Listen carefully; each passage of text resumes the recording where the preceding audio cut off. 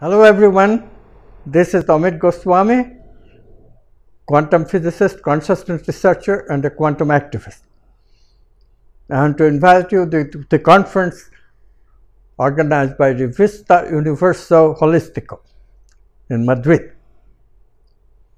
where I will be speaking on the subject of the quantum science of enlightenment. What a beautiful subject. We're talking about how to scale happiness, different types of happiness, how to employ creativity and creative exploration to become happier and happier, ending up to this perfect state of happiness called enlightenment. But I'll do even better. I'll introduce a subject called quantum enlightenment, where you can be enlightened, live in more or less perfect happiness while living in the world. You don't have to give up the ego or anything.